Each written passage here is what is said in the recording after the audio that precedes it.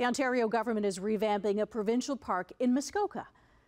Bigwind Lake Park near Bracebridge will add 250 campsites and 25 new cabins. The government says this will be the first all season full service provincial park opened in over 40 years.